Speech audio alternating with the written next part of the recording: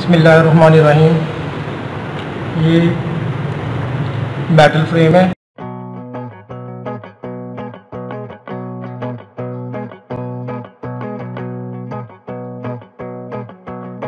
मज़बूत फ्रेम है।